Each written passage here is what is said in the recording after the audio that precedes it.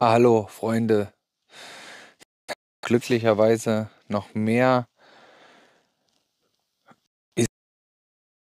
und mein süßes Hündchen Emily, denn wir wollen ein objektives Bild machen von dem Geschehen, von der Demonstration gegen das Tesla-Werk und die Verseuchung des Brandenburger Trinkwassers. Wir haben dabei festgestellt, dass ich immer wieder negativ erkannt wurde von irgendwelchen linksradikalen Menschen.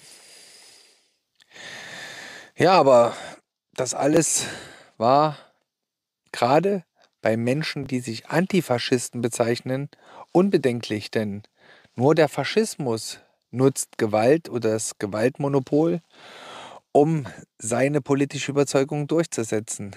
Ich habe zu keiner Zeit irgendwie ähm, die allgemein gegen Ausländer gehetzt. Ich bin, und dazu stehe ich, dafür, dass gewalttätige Ausländer, die schlecht geworden sind, diese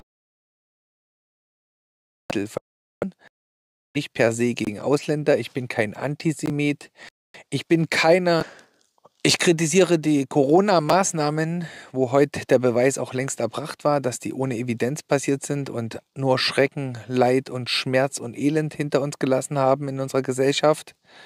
Stichwort Menschen, die alleine sterben mussten nach einem ganzen Leben. Stichwort unsere Kinder. Das alles will ich jetzt hier gar nicht thematisieren. Danke, dass ihr euch so rührend um mich erkundigt habt und um meine Frau und mein kleines Hündchen. Es war heute wirklich eine sehr gefährliche Situation. Ihr habt es ja gehört. Wer es nicht gehört hat, sollte sich das Video nochmal anschauen. Es wurde von der Bühne aus Propaganda noch anzeigen. Das werde ich auch morgen tun, wenn sich der erste Schock ein wenig gelegt hat und ich beim Arzt nochmal gewesen bin. Ja, hallo und guten Morgen. Ich musste wirklich laut lachen und deshalb meinen kurzen Beitrag dazu. Björn Banane war bei der Tesla-Demo dabei. Nach seiner, ich nenne sie mal professionell journalistischen Nachfragerei bei den Demo-Teilnehmern stieß er irgendwann mal auf Gegenwehr.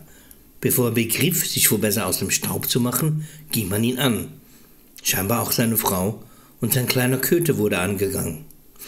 So wer am Himmels Willen nimmt als bekannte rechte Banane seine Frau und vor allem seinen Hund mit auf eine linke Antifa-Demo.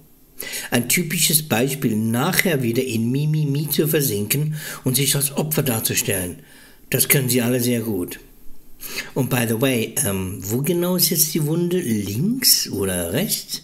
Man weiß es nicht. Jetzt wird wieder ein Riesengeschrei daraus gemacht. Einfach lächerlich. So, das war's schon. So bis die Tage. Hab euch lieb und tschüss.